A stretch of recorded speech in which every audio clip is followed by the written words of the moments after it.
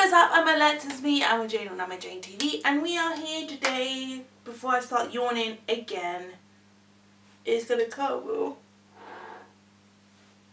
I don't know why I'm yawning, it's just, it's annoying now, it's starting to get annoying actually, because I've been yawning since yesterday. Okay, so, we are going to do a reaction on iKON, Dive, and this is the first comeback for me, uh, without BI for those who don't know, BI is my bias in iKON. He's always been my bias. And ever since that virus came along and went and destroyed his career and it was found out that he was actually proven innocent, I question people that love to spread false information.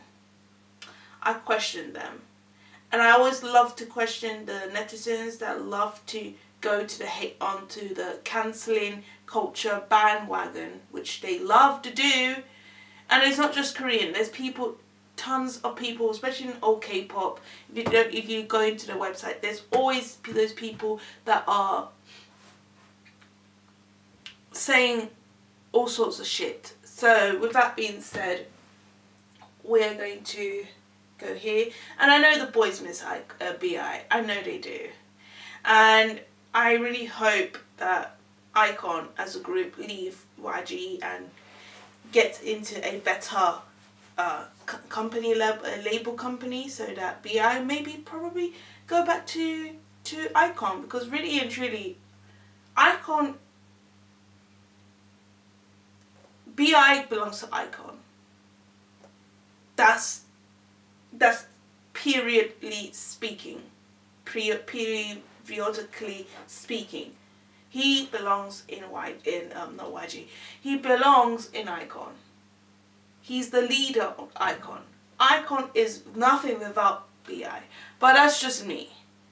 Okay, so this is going to be the first comeback. And you know what pisses me off the most is the fact that YG decided not to credit BI's hard work for this comeback because he written songs for iKON.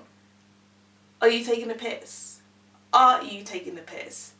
So that really kind of like really upset me that he that YG gone and done that, knowing knowing how talented BI. They could have credited to him because he worked so hard to do what he does, songwriting and songwriting for his group uh, for his uh, people, his members. So with that being said, we're going to do iKON Dive in three, two, one, go go. It is not the same without... Is that Bobby? No, he's one of the members.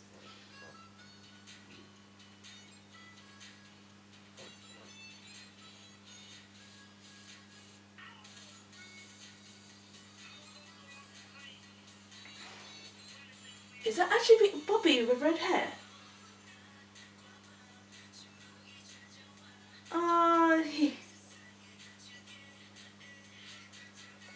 Jaehwan, right? Oh, Junhoe. Oh, look at Junhoe. Look at him. Oh, this beautiful man. Look at his hair. He let it grow. Is. Is. I forgot his name. Shoot.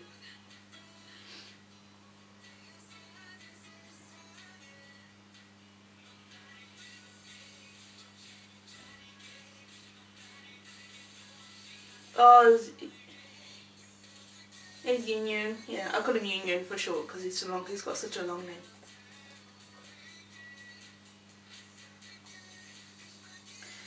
Oh, I miss Bo I miss Bi in this group.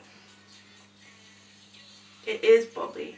Actually, Bobby looks good with red hair. I'm not gonna lie. I imagine. I, I'm wondering what is Bobby really thinking right now. He must be really disappointed in YG letting go BI, knowing he, I think he knows the truth. I think he knows the fact that BI never took those drugs, but then again, YG being YG, trying to protect his face, as always, he just gonna does the fucked up.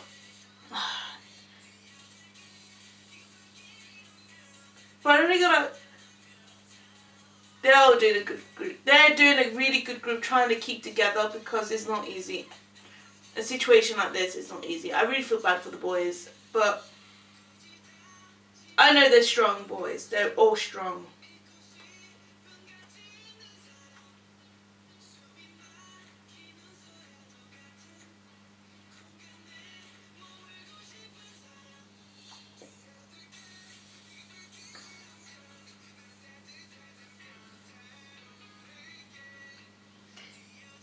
I, want, I, I wonder if YG ever feel a little bit remorse. He must have something in his heart that he feels bad for doing what he did.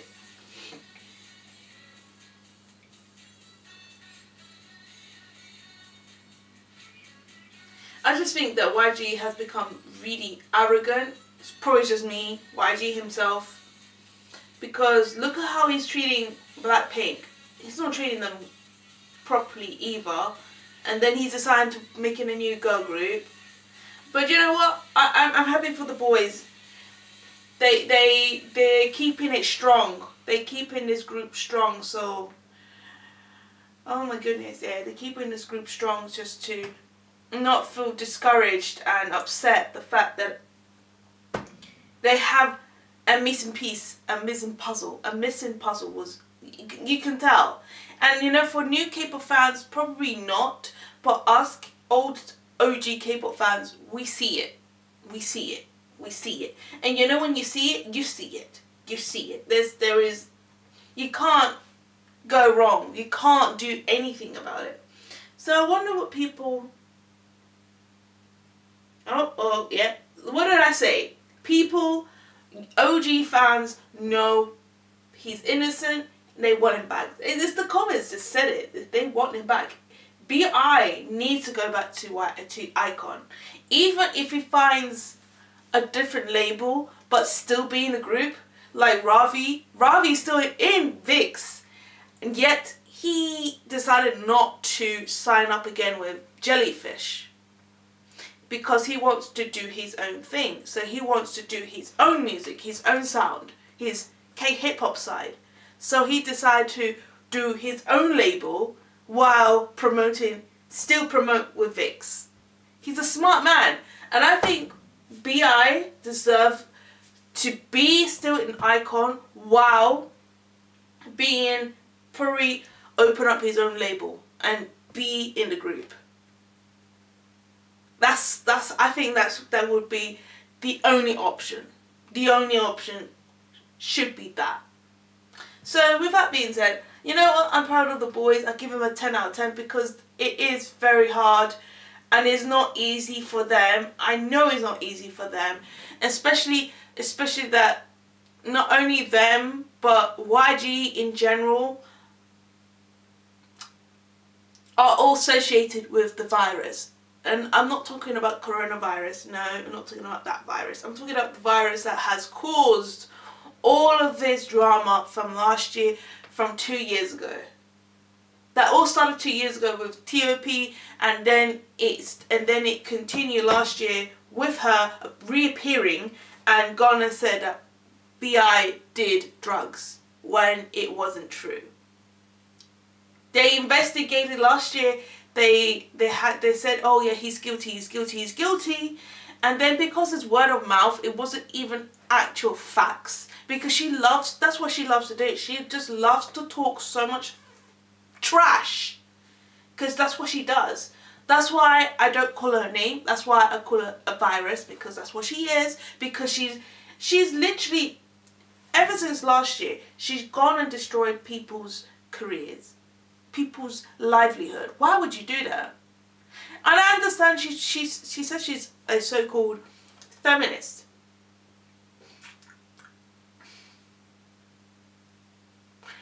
I really don't like feminist people, especially the women. They they are the most hated people in the world right now because they talk so much bullshit. They talk so much bullshit. It is ridiculous. So yeah. So I I really really deciding that Bi should go back to iKON while signed up, probably in his own company or in a different company. It, somewhere, somewhere. He he needs. I, I know he's. He, I know Bi is a smart guy. I know that's that's gonna happen. That's it's eventually it's gonna happen eventually. So that being said, I give it a ten out of ten. I'm proud of the boys. They're so brave, so brave. They're so brave. They're so. They, these men, these young men are brave, brave young men, because we all know they miss their leader. They miss their leader. Like the fuck, they missed the leader. But with that being said, this teaches netizens stop criticizing everything. Stop believing word of mouth that is not even prove, proven to be facts because they're so quick to attack. And look what happened. Look what happened. Now look at you. Now look at yourselves. And rethink. This is what I always say. Think before you speak. If you don't have proof, if you don't have the receipts, it's better off to just don't say anything because netizens in general, they don't, they, they very quick with the keyboards because since they, they don't go and bullying people, they just very quick to bully people online, which that, that bullying online, it needs to stop. It needs to die down. I don't know when and how, what ways, because back in my days, where before before it, well, even the internet was around, when the messaging was around, there was no cyberbullying. It was just like three, four years later, all of a sudden I started to learn cyberbullying was a thing. I was like, what the heck is a cyberbullying? But now I know, well not now, but a year later and I understood what cyberbullying was. It was basically, you still bully people, but you're commenting on their social media or on their YouTube channel. That's cyberbullying. Basically that. So, yeah guys, stop with the cyberbullying and make sure you this is a, a really really useful lesson for everyone to think before you write think before you speak. Stop believing everything what people say about these celebrities. This celebrities this celebrity does stop doing that stop doing that stop stop. If you don't know if it's proven to be true say nothing because these are the consequences that happens and then it's proven that they're innocent and then you guys look like like a bunch of idiots. And then your your hypocritical side just kicks in and says oh I'm so sorry. Too late. Too late. Either they ruined their their what's it called again? Their career's being ruined or they kill themselves. All thanks to you guys with your comments and with your words and calling them names, calling them ugly, calling them this, calling them that. So I'm so proud that Bi hasn't gone to that to that scoop down that level. I am proud of him. I am so proud of him that he didn't go done mess up things at the moment. So with that being said guys, go and show love with your faves. If you see cyberbullying, especially when it comes to these guys, K-pop idols, report them. Please report them.